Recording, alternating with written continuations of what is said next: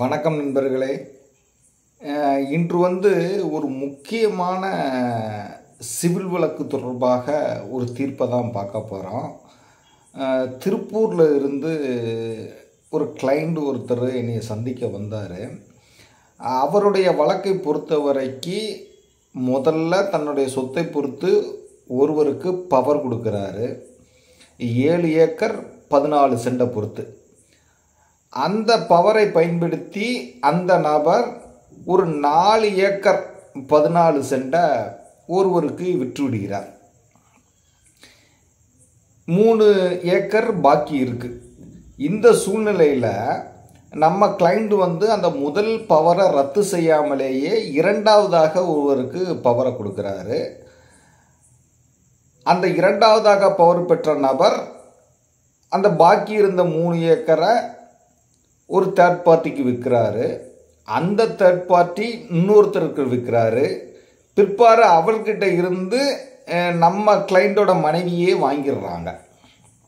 இதுக்கிடையில் அந்த முதல் பவர் கொடுத்தவர் நாம் கிரையை பெற்றதுக்கப்புறம் அவர் ஒரு கிரையத்தை ஒரு தேர்ட் பார்ட்டிக்கு கொடுத்துட்றாரு. இப்போ புரியுதா உங்களுக்கு? அதாவது நம்ம கட்சிக்காரர் முதல்ல ஒரு பவரை கொடுக்குறாரு. ஏழு ஏக்கர் பதினாலு சென்ட்டுக்கு.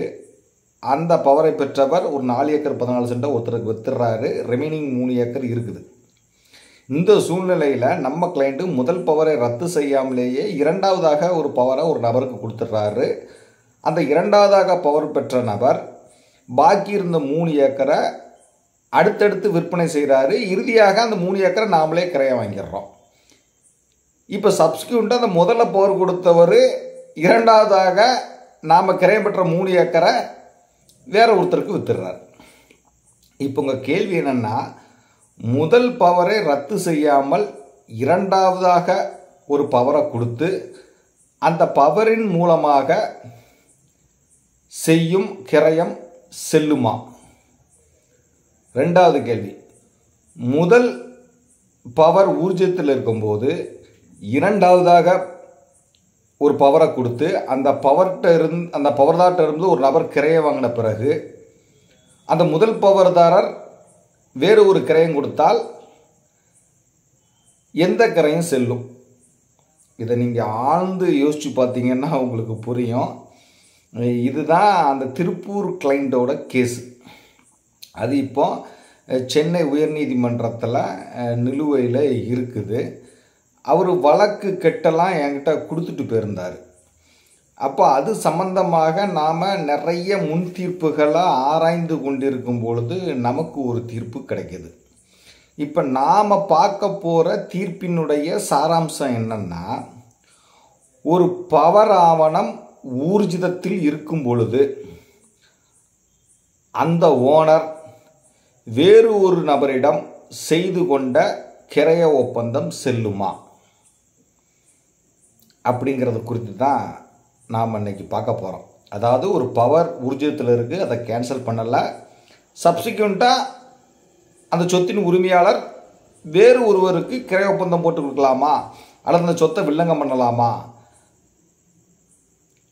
அதன் பிற்பாடு பவர்தாரர் வந்து சொத்தை கிரையம் கொடுத்துட்டா அந்த கிரையம் சொல்லுமா? இல்லை இந்த ஓனர் ஏற்படுத்திய வில்லங்கம் செல்லுமா?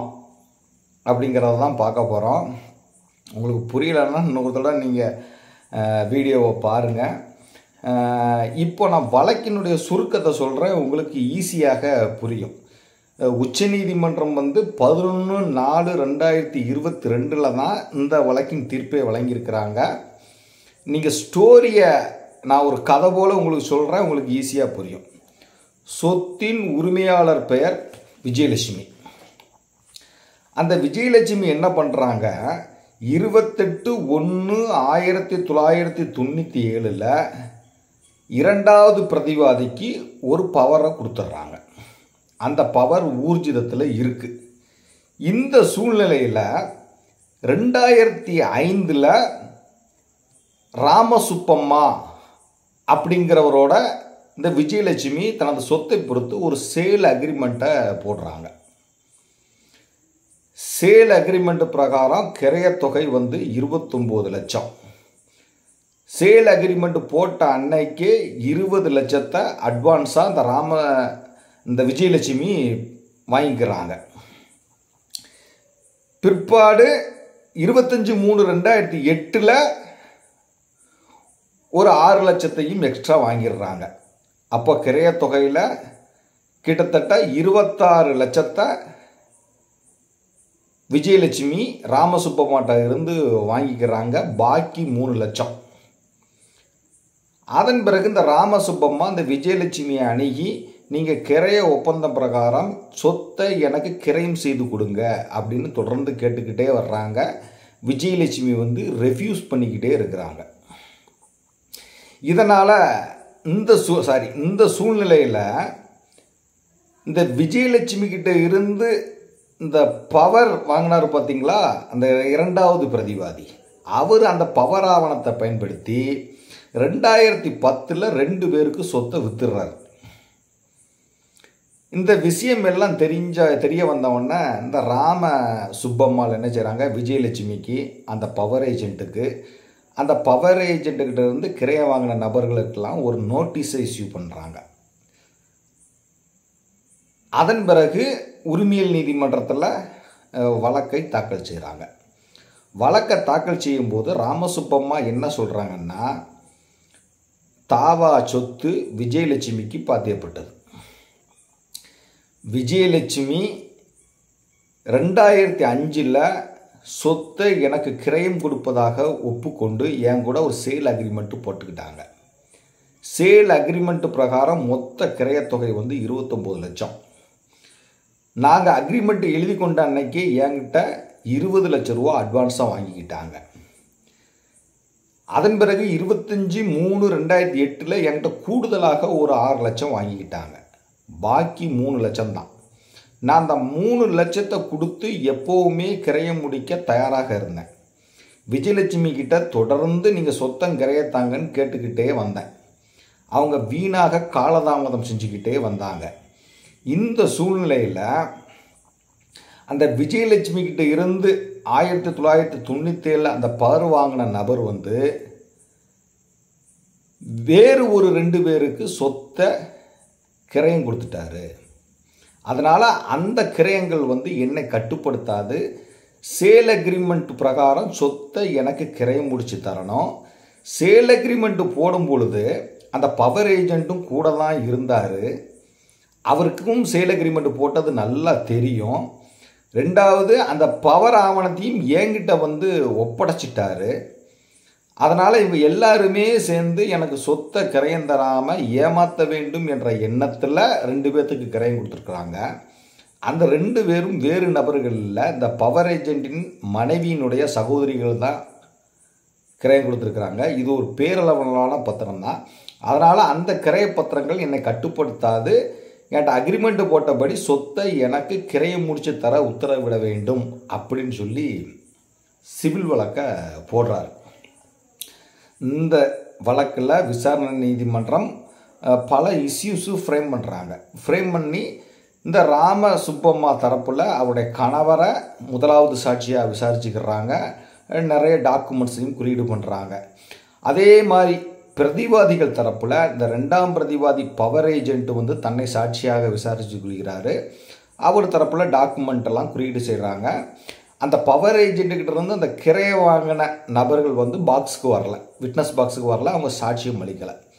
இந்த வழக்கை டீட்டெயில்டாக பரிசீலித்த விசாரணை நீதிமன்றம் இந்த ராமசுப்பம்மாவுக்கு ஆதரவாக தீர்ப்பளிக்கிறாங்க.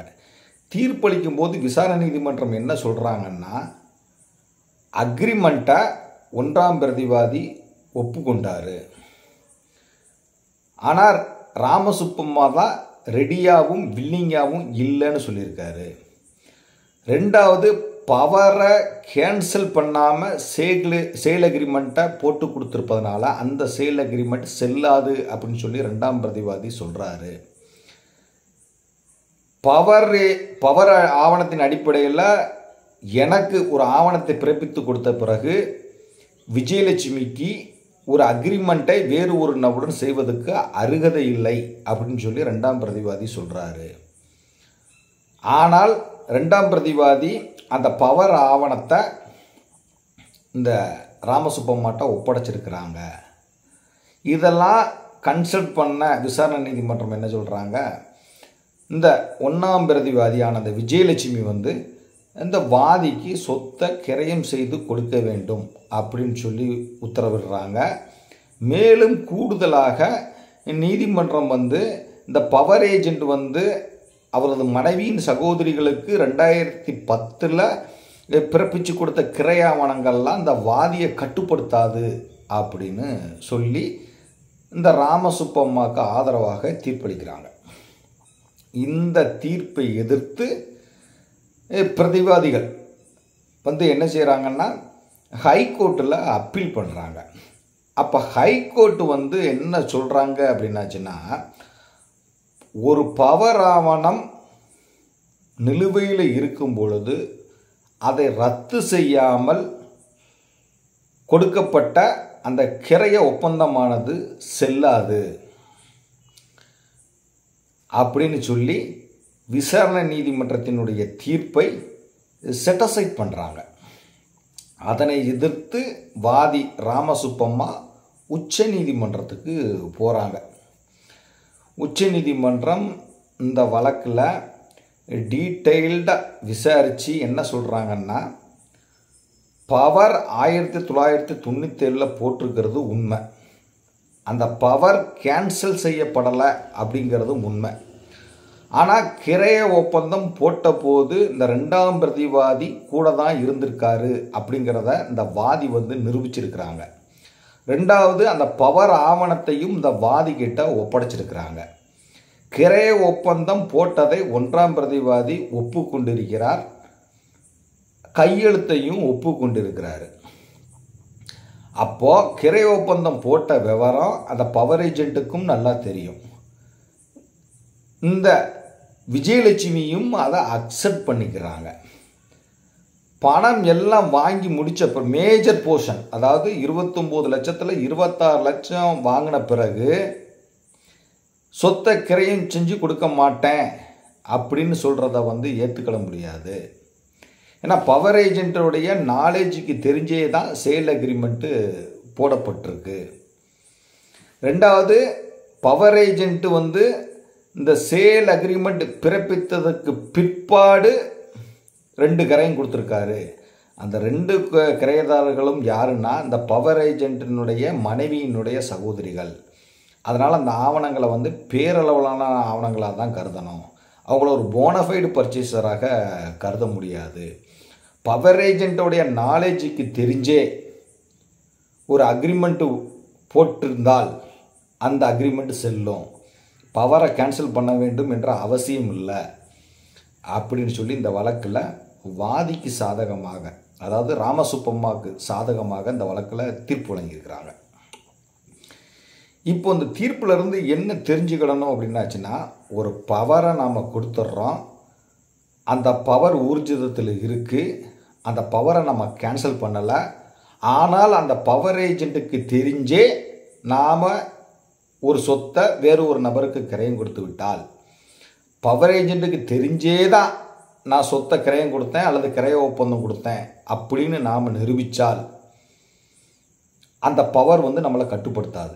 நாம் கொடுத்த அந்த கிரைய ஒப்பந்தமோ அந்த கிரையமோ தான் செல்லும் அப்படிங்கிறத தான் இந்த நீதிமன்ற தீர்ப்பின் மூலமாக நாம் தெரிஞ்சுக்கொள்ளணும். நான் வழக்கினுடைய சுருக்கத்தை தான் நான் உங்களுக்கு சொல்லியிருக்கிறேன்.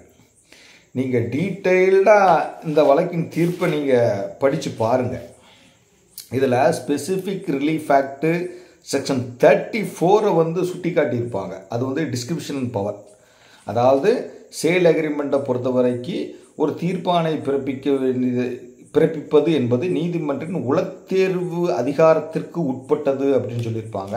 அதேமாதிரி ஸ்பெசிஃபிக் ரிலீஃப் ஆக்ட் செக்ஷன் டுவெண்ட்டியையும் இதில் சுட்டி காட்டியிருப்பாங்க ரெண்டாவது ரெண்டாவது இதில் உயர்நீதிமன்றம் என்ன சொல்லியிருப்பாங்கன்னா இந்த ராமசுப்பம்மாள் வந்து கிரைய ஒப்பந்தத்தை நிறைவேற்றி தர சொல்லி தான் ப்ரேயர் கேட்டிருக்காங்க.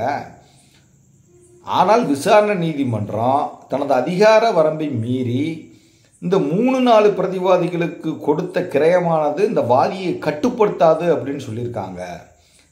ஸ்பெசிஃபிக் ரிலீஃப் ஆக்டில் இதற்கான அதிகாரம் விசாரணை நீதிமன்றத்துக்கு இல்லை. வாதி கோராத ஒரு பரிகாரத்தை வந்து ஏற்றுதை ஆற்றுக கோர கோரி தாக்கல் செய்யப்படும் வழக்குகளில் வந்து நீதிமன்றம் பயன்படுத்த முடியாது அப்படின்னு உயர்நீதிமன்றம் சொல்லியிருப்பாங்க. ஆனால் அந்த கருத்தை வந்து உச்சநீதிமன்றம் ஏற்றுக்கொள்ளவில்லை. ரெண்டாவது இந்த வழக்கில் உச்சநீதிமன்றத்தில் இந்த ராமசுப்பம்மா சார்பில் ஆஜரான வழக்கறிஞர் வந்து பல்வேறு வழக்குகளை சுட்டி காட்டியிருப்பார் என்ன சுட்டி காட்டியிருப்பாருன்னா ஒரு கிரைய ஆவணம் எழுதி பட் எழுதப்பட்டதற்கு பின்னர் அந்த சொத்தை மோசடியாக ஒருவருக்கு கிரயம் செய்து கொடுத்து விட்டால் அந்த கிரயம் பெற்றவர்களை வழக்கில் ஒரு பார்ட்டியாக சேர்க்க வேண்டிய அவசியம் இல்லை. ரெண்டாவது அந்த கிரைய பத்திரத்தை பொறுத்த வரைக்கும் நல்லன் வாய்டு கேட்க வேண்டிய அவசியம் இல்லை அப்படின்னு சொல்லி பல தீர்ப்புகளை சுட்டி காட்டியிருப்பார் இந்த வழக்கில். ரெண்டாவது உச்சநீதிமன்றம் வந்து இந்த வழக்கில் வந்து தெளிவான ஒரு தீர்ப்பை வழங்கியிருப்பாங்க. அதாவது ஒன்றாம் பிரதிவாதியான அந்த விஜயலட்சுமி வந்து இந்த அக்ரிமெண்ட்டை அட்மிஷன் பண்ணியிருப்பாங்க. ஒத்துக்கொண்டு இருப்பாங்க அந்த அடிப்படையிலையும் இந்த வழக்கை வந்து உச்சநீதிமன்றம் வந்து இந்த வாதிக்கு சாதகமாக தீர்ப்பளிச்சிருப்பாங்க. இந்த வழக்கினுடைய முழு தீர்ப்பையும் நான் டிஸ்கிரிப்ஷன் பாக்ஸில் கொடுக்குறேன். கண்டிப்பாக படித்து பாருங்கள் ரொம்ப சுவாரஸ்யமான வழக்கு. கட்டாயமாக உங்கள் அனைவருக்கும் பயன்படும். நன்றி.